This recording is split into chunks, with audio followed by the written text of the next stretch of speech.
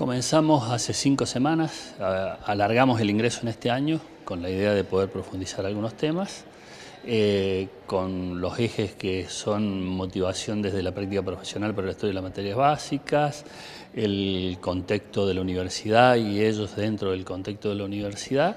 Y bueno, en ese sentido se ha, se ha trabajado bastante bien y bueno, ahora estamos haciendo el cierre, digamos. ¿Y cuál es el objetivo de realizar estas actividades de cierre con la realización de una encuesta?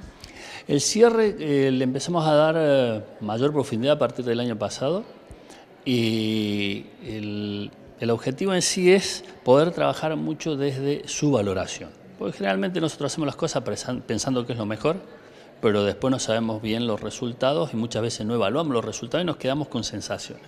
Es decir, bueno, en la universidad creo, me parece, debiese desaparecer y darle un sustento real. Para eso se hace una encuesta bastante estructurada donde ellos ponen su valoración, después procesamos esos resultados y lo que se hace al final es por comisión van haciendo una planteo más de tipo eh, cualitativo de lo que ha sido el ingreso y lo que ha significado para ellos.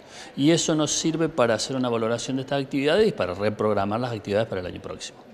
Si bien esa encuesta se está realizando ahora, de acuerdo a las eh, distintas instancias de intercambio que han tenido con los chicos, ¿cuál es la respuesta que ustedes han observado? ¿Cuál es la opinión de los estudiantes? Bueno, te cuento un poco lo, del año pasado y que nos va a reformular esto. O sea, eh, le dimos mayor profundidad a lo que sea práctica profesional.